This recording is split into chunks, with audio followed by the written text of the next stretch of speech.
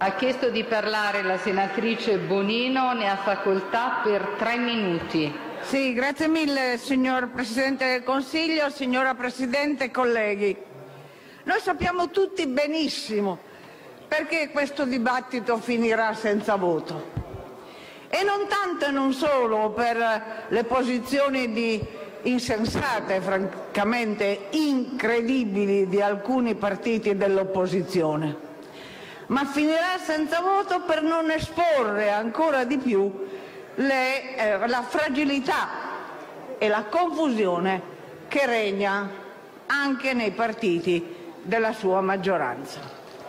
Ma ciò nonostante, comunque, lei si troverà al tavolo negoziale giovedì in una posizione di estrema debolezza perché i suoi omologhi, voto o non voto, purtroppo conoscono le divisioni della sua maggioranza, ricevono note giornaliere dagli ambasciatori dell'Unione Europea a distanza a Roma e peraltro divisione emersa drammaticamente nel voto al Parlamento europeo.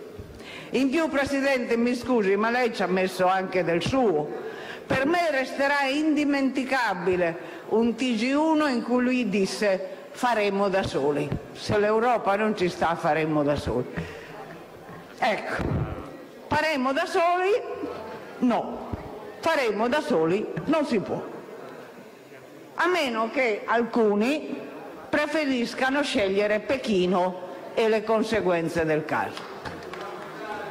Signor Presidente, lei lascia ad altri questa guerra ideologica, che io trovo insensata, autolesionista contro il MES. Perché anche le pietre oggi sanno che questo prestito di 37 miliardi arriverà senza altra condizione che non spendere bene e di contare le risorse. Lei ha citato il testo del comma 16, lo possiamo recitare in modo che la gente capisca, se ci riesce. Invece negozi favorevolmente sui tassi e sui tempi soprattutto della ristrutturazione e forse sulla tipologia di spese ammissibili.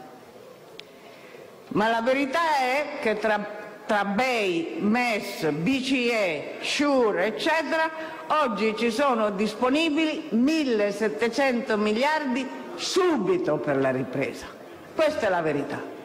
E non è, per favore, non voglio più sentire lei non sia connivente sull'Europa ci lascia soli.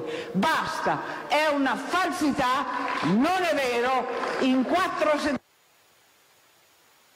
europea ha messo in moto tutti gli strumenti che poteva e se possibile invece si concentri sul negoziato sul recovery fund. E chiudo.